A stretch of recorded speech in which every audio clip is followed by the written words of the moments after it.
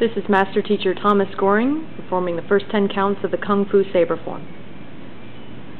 One, two, three, four, five, six, seven, eight, nine, ten.